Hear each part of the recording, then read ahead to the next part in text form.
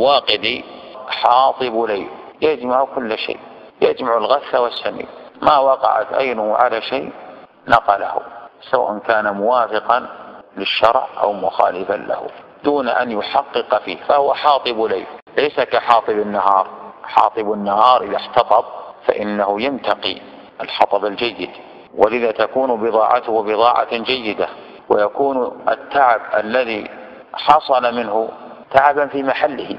له فائدة وثمر لكن حاطب الليل لا يدري ماذا يحتطب. يقول ربما أن تكون هذه جيدة فيحتطبها فإذا به إذا أصبح الصبح تتبين له بضاعته. يكون فيها الغث يكون فيها السمين يكون فيها الجيد والرديء.